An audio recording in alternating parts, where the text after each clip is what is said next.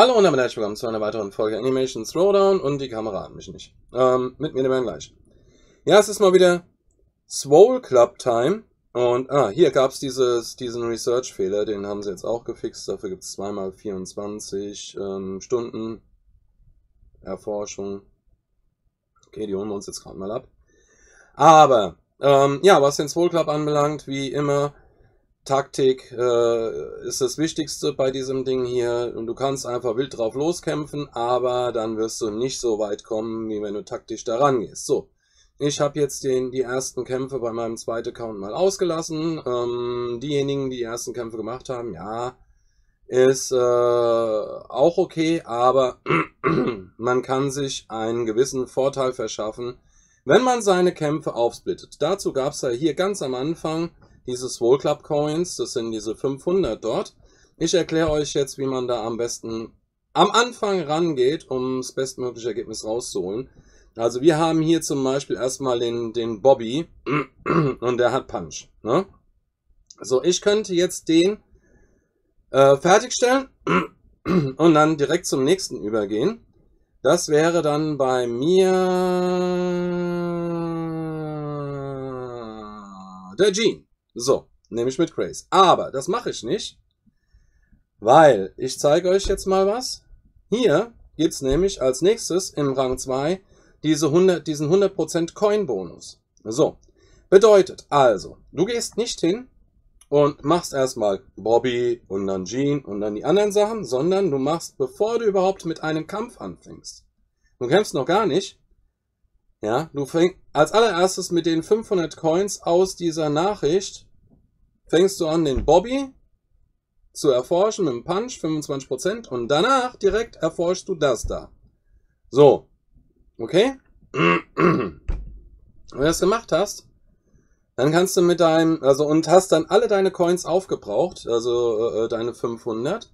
Und jetzt ist das Spiel abgestürzt. Juhu. Das, äh, warum bin ich das nicht mehr anders da gewohnt? Ähm, dann Erst dann, wenn du deine Coins aufgebraucht hast, fängst du mit deinen Kämpfen an. Also das heißt, du machst erstmal den Bobby für Punch, dann holst du dir die 100, diesen 100% Coin-Bonus. Dann machst du Gene für Craze, dann holst du dir den 100% Bonus. So, und so machst du das, äh, bis deine Coins aufgebraucht sind, dann machst du den ersten Kampf, kriegst du wieder Coins mit hinzu und mit, dem erst, mit diesen Coins machst du das Spielchen wieder. Das Ganze ist natürlich extrem zeitintensiv, aber du kannst relativ schnell in kürzester, äh, ähm, also was heißt relativ schnell in kürzester Ding, du kannst halt relativ schnell deinen Coin-Bonus nach oben pushen, um dann richtig schnell vorne Gas geben zu können. Ja, so das ist aktuell die beste Taktik. Wenn du dann fertig bist, alle deine Charaktere auf Level 2 gepusht zu haben, ja, dann konzentrierst du dich auf Punch, auf Grace und auf irgendeinen, sagen wir mal, äh, Charakter, der halt hier Angriff und Leben, du kannst jetzt, was weiß ich, nehmen wir mal hier äh, die Tina zum Beispiel, nee, die hat, die hat Cripple, wer, wer war denn, ach, drücke ich denn drauf? Family Guy beispielsweise, hier 25% Bonus, ja, Family Guy 25% Bonus, Da hinten die Linda habe ich mit dem hier noch gar nicht.